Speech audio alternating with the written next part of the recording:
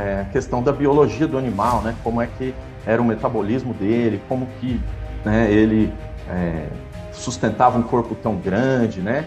Coisa que a gente já tem algumas informações, sem dúvida, na literatura, por conta de outros grupos que são estudados, né?